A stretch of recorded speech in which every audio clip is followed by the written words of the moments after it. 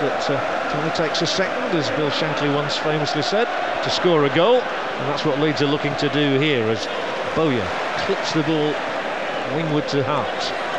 Covered by Chadwick. Uses the right foot, it's a cross, and it's a goal for Leeds United for Harry Kewell. Where was it going to come from? It came from the head of the Australian, and Leeds lead